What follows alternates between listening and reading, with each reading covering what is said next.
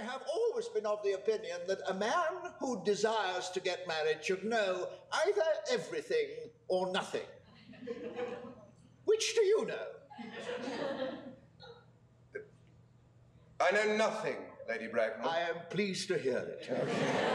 I do not approve of anything that tampers with natural ignorance. Ignorance is like a delicate, exotic fruit. Touch it, and the bloom is gone. Where did the charitable gentleman who had a first class ticket for this seaside resort find you? In a handbag. A handbag. Yes, Lady Bracknell, I was in a handbag, a somewhat large black leather handbag with handles to it. An ordinary handbag, in fact. In what locality did this Mr. Thomas Cardew come across this ordinary handbag?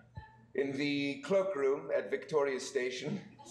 It was given him in mistake for his own. The cloakroom at Victoria Station. Yes.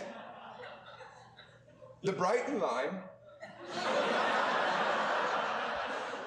The precept as well as the practice of the primitive church was distinctly against matrimony. That is obviously the reason why the primitive church has not lasted to the present day. And you do not seem to realize, dear doctor, that by persistently remaining single, a man converts himself into a permanent public temptation. Men should be more careful. This very celibacy leads weaker vessels astray. Ernest proposed to me exactly ten minutes ago.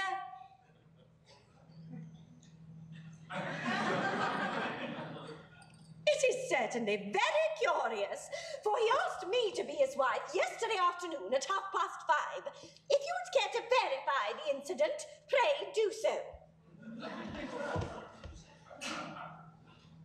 I never travel without my diary.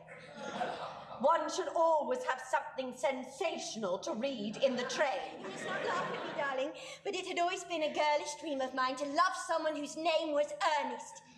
There is something in that name that seems to inspire absolute confidence. I pity any poor married woman whose husband is not called Ernest. But my own dear child, do you mean to say you couldn't love me if I had some other name?